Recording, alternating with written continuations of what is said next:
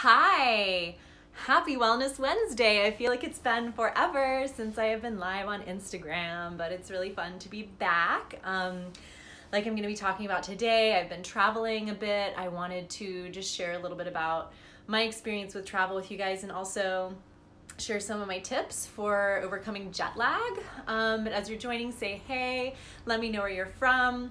Um, and I would love to hear about your experiences with travel. Do you want to travel? Do you travel a lot? Um, what are your tips for traveling like in a healthy way as far as staying on top of your energy and getting over jet lag? Um, I just got back from a two week trip to Greece, um, which was amazing. I went with my sister. We traveled together for the first time and it went really well. Um, I was a little nervous about that, but it, it went great. Um, hey, Kevin, how's it going? Thanks for joining. Um, travel, I feel, is so important to me. And for the last couple of years, as I've been going through school and I have been working on building my business, I haven't really created the space to get out and explore as much. And um, I feel like the last two trips I've taken, so I went to Tulum, I did a lot of traveling, like in a very tight period of time and was trying to write a cookbook at the same time. Um, but I went to Tulum, I went to Mexico, came back a couple weeks later, I left for Greece. I was in Greece for two weeks. Um, and it was just such an amazing reminder for me and i don't know about you guys kevin's going to arizona. Where you're based out of new jersey. Are you doing a road trip? Oh that's awesome. Road trips are so cool. Um, i flew. I did not drive to mexico. I did not drive to greece. Um, but traveling in general i think it's so important for me to get out of my routine. Um, and i don't know if you guys feel that same way but i feel like when i'm in my routine for a long time i kind of forget that I'm just kind of doing the same thing over and over again and I start to feel kind of antsy and like grumpy and um, so it's really important for me to just like get out and explore and remember that like I don't have to do things the same way every time even if that's the most efficient way to do it when I'm at home. Um, I'm drinking my kombucha right now. I don't know if you guys saw my story yesterday about going grocery shopping and how awesome it was to go grocery shopping just for myself and not have to buy recipes to or ingredients to recipe test with but I'm loving kombucha.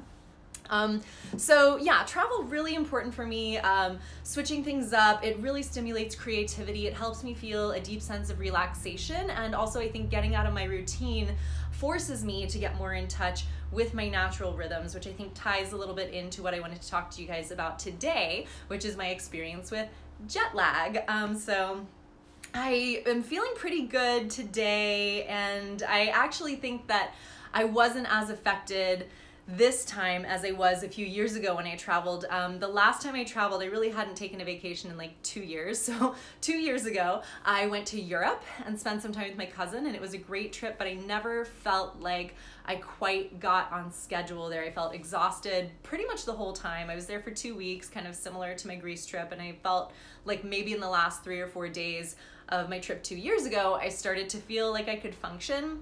Um, so I was trying to be a lot more mindful during my Greek trip about how I could support myself to just feel good.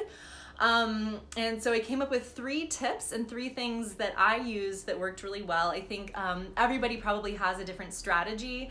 Um, so two of mine are lifestyle hacks and one is a supplement that I want to tell you guys about that I actually never take when I'm at home. I only take it when I'm traveling. Um, but again, I think part of how travel can be so inspiring is if you give yourself a break and, and time to rest and time to kind of adjust to your natural body's kind of rhythm. Um, that I think is what can create a lot of space and help you feel that relaxation that we all want when we're on vacation.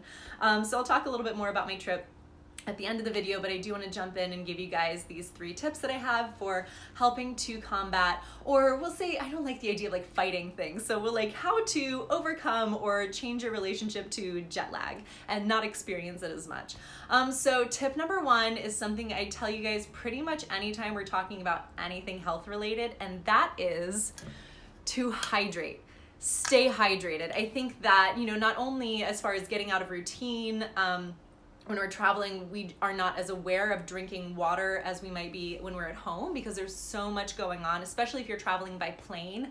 I know for me, it always throws me off when I have to empty my water bottle and I'm like, wait, I'm not used to, I'm used to having a full water bottle. I'm not used to even for a period of time having an empty water bottle. I usually use this as a measure of how much water I've taken in during the day. And if I don't have this with me, um, or if it's empty, then I feel like I get off track without even thinking about it um, with how much water I am taking in. And dehydration, even, um, what is it, like even a 10% reduction in the amount of water you take in can lead to a 30% reduction in your functionality. Um, and so especially when you're challenging your body already, putting it in a new environment, putting it in a new time zone, you wanna stay on top of the basic things like drinking enough water, which I'm gonna do right now.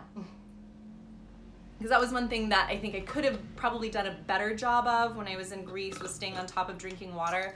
Um, but I do know as much as I paid attention to it, it definitely was helpful. So remember, not only does dehydration reduce um, the functionality of your body, it also makes you feel really sluggish and tired. You're not able to clear the toxins as much. And again, if you're flying places, you're trapped in this contained environment, you want to be able to flush as much of that out as you get off the plane as you possibly can. Um, so staying on top of staying hydrated is one of the number one things that I think you can do to regulate your energy. And again, just make things easier on your body because you're already challenging yourself by being in a new environment and it's a stressor. So we want to do everything we can to mitigate the stress. Um, breathing techniques and meditation can also be really helpful helpful, but that's everybody's personal practice. So the one thing that I will recommend first is drink plenty of water. The second thing that I found to be really helpful for myself personally and as I was out checking out other people's blogs. It's really great to see everybody joining, by the way. I love seeing you guys. Hi! um, I was checking out other people's blogs and honestly reading articles, you know, on uh, different medical websites talking about uh, uh, jet lag. and uh, people were saying some people use intermittent fasting. I don't personally ascribe to intermittent fasting, but I did find that eating a little bit less, eating lighter during the phase of travel and transit. So again, like I flew to Greece, we were flying for 13 hours. I tried to snack lightly on things that I felt um, were kind of refreshing to my body. So some of what was served on the plane were like cucumbers. They had apples available for us to snack on, and they would serve meals, and I wouldn't quite eat all of it. I would just eat, you know, a little bit of protein and maybe some vegetables. Um, but again, I think it comes back to the idea that when you're traveling, you're stressing your body out. You're putting yourself in this state of being in a new environment, having to adapt to things. So again, you kind of want to reduce the load on your body, not only. Um, not to mention that eating and stimulating your uh, metabolism requires energy. So again, if we're trying to ease our body into a new time zone and into a new circadian rhythm, essentially, uh, reducing the strain on the other body systems will make it a little bit easier for easier for you to adapt to the new circadian rhythm that you're trying to adapt to when you get wherever you're going. Um, so staying hydrated, eating light when you're in transit can be really nice. And also another thing about eating light, hey so good to see you. Um, another thing about eating light is that when we're traveling, we're usually really sedentary and that slows down our digestive process to begin with. Um, so again eating light and making it easier on your digestive system. If you're if you're not having the same kind of function in your gut things aren't moving things aren't churning the way they normally would be if we were moving around. Um, you know even if you sit at a desk job you get up and go to the bathroom you get up and you know go to lunch you get up and you walk around more than you would when you're either on a road trip so that even applies to road trips. Um, but especially when you're on a plane you're not moving as much so everything kind of slows down. So just lighten the load by sticking mostly to liquids primarily water. Um, alcohol doesn't doesn't count. um, but also lightening the load by not eating quite as much when you're in transit and let yourself find your appetite again when you get to wherever you're going.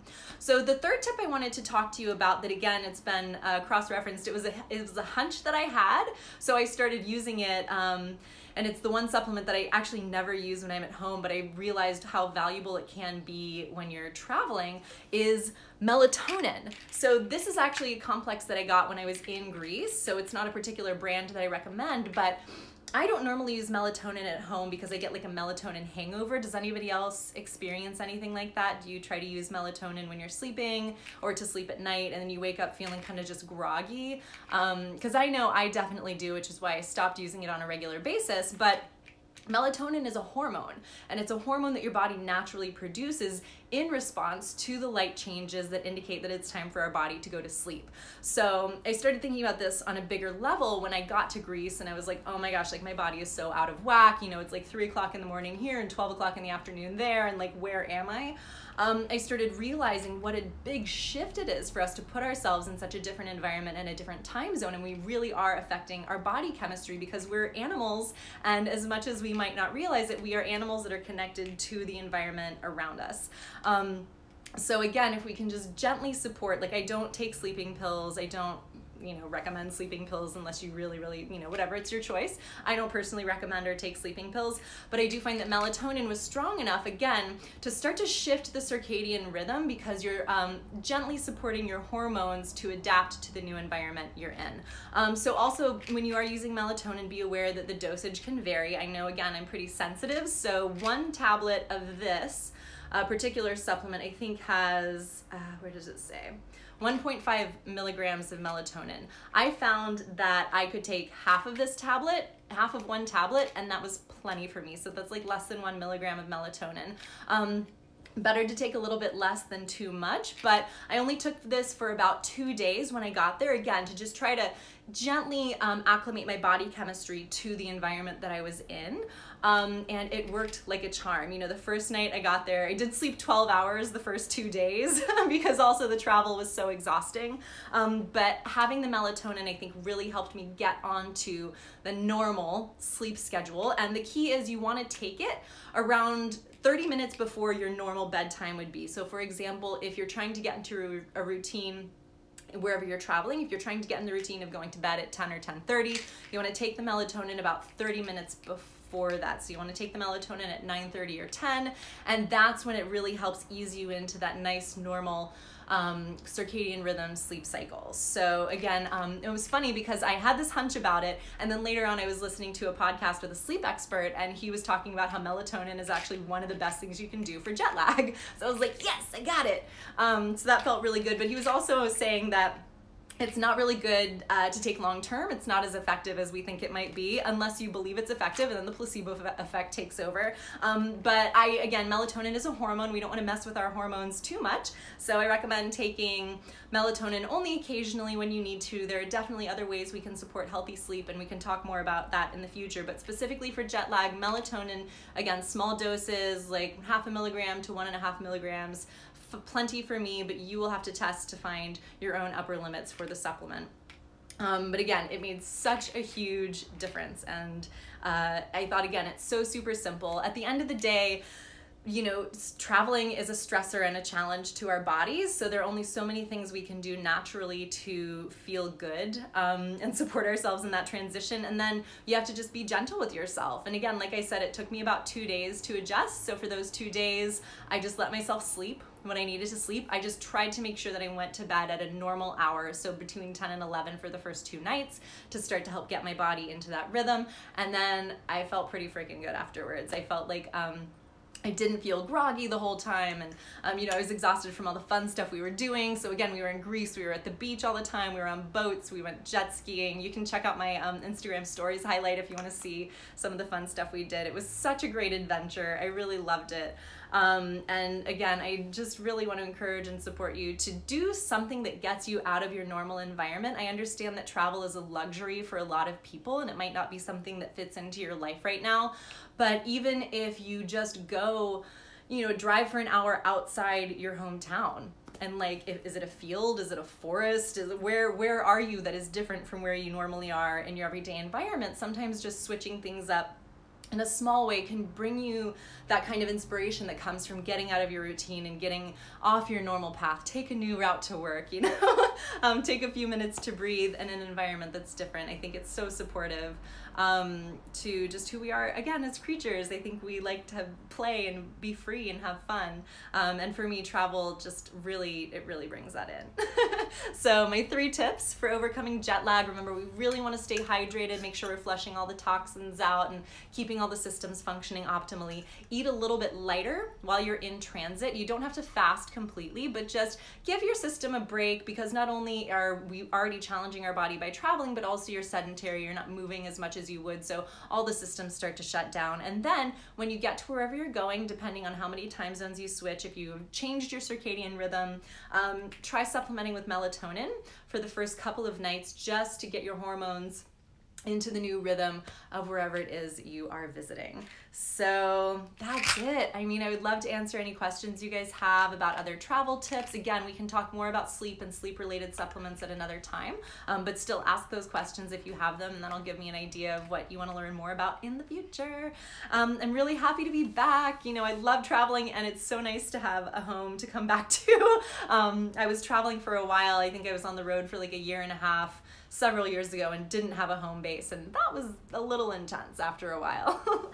um, but yeah, it's nice to be back in LA, and um, I definitely feel inspired again, like I've been encouraging you guys to do. If you don't have the time or the resources to get to Greece, um, you know, get outside of your town, just even for like a couple hours or for an afternoon, break up your pattern and get those creative juices flowing. Um, I've definitely been inspired to take my own advice on that note. It's something I've been saying I'm to do for a long time, which I live in LA and there are so many great places to go on day trips around, so I'm actually to start that this weekend, which I'm really excited about because um, it is something I've had an intention to do. Just get out on little journeys and explore here and there, and I think that'll help me feel a lot um, just more inspired and kind of relaxed in my home routine. So that's it. That's all I got for you guys today. I hope you're having a beautiful day. Please, again, let me know if there are any other questions you have about tips for traveling or um, adjusting to travel, even sleep related questions. Again, we'll have a conversation about that later, but let me know what you want to know and um, I'll be hanging out and doing my thing. So have a beautiful rest of your day. Happy Wellness Wednesday. Mm -hmm. And um, it's good to be home.